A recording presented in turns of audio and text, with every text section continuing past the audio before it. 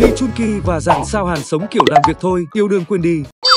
Đường tình duyên trong showbiz Hàn năm 2022 phải nói là nở rộ rực rỡ, đến cả những ngôi sao gần như không đề cập chuyện yêu đương bao giờ như Kong Hyo Jin, Chang Ja cũng nối nhau đơm hoa kết quả. Ấy vậy mà trong một nam thần Cupid năng suất như thế, vẫn chưa thấy cây đào hoa của những nam nữ thần tuổi 40 dưới đây có chút động đậy nào cả.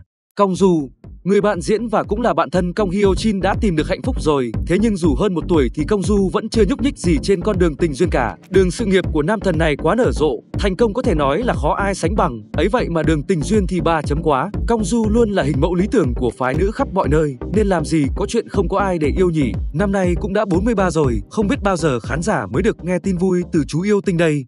Song Chi Hyo trong khi một loạt mỹ nhân 1981 đã tìm được bến đỗ cho mình thì mợ ngố Song Chi Hyo vẫn sừng sững ở đó. Trước đây, Trang Naza liên tục phải giải đáp câu hỏi bao giờ lấy chồng thì từ giờ người đứng mũi chịu sào sẽ tới Song Chi Hyo rồi. Có điều chị đẹp vẫn bình thản lắm, rất thoải mái, từ từ chứ không hề vội vàng chút nào. Cũng đúng, mấy chuyện này muốn vội cũng đâu có vội được, đành từ từ chờ Song Chi Hyo mang anh rể tới giới thiệu vậy. Có điều lúc nào thì chị đẹp không nói và chúng ta cũng chẳng biết được đâu.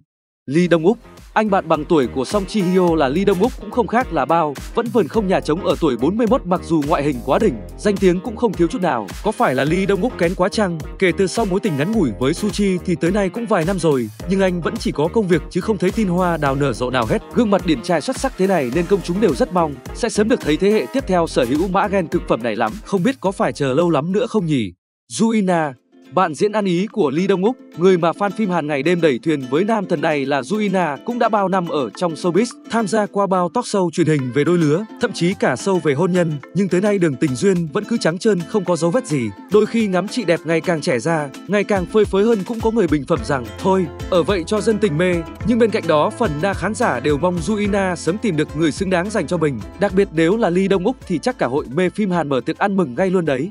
Lee Chun Ki Chàng nam thần Quảng Giao, phóng khoáng, thực lực và chăm chỉ hàng đầu làng phim Hàn Lee Chun Ki cũng là một người quá lời yêu đương luôn đấy. Cho đến hiện tại dù đã bước vào tuổi 40 thì Lee Chun Ki cũng chỉ mới có một mảnh tình vắt vai mà còn cách đây khá lâu rồi. Đi du lịch cũng đi một mình, đóng cặp cùng mỹ nhân nào cũng trở thành bạn bè chứ không hơn được. Dù phản ứng hóa học thì cứ gọi là tung tóe. Không ít khán giả vô cùng tò mò, người lọt và mắt xanh của Lee Chun Ki sẽ là cô gái như thế nào đây?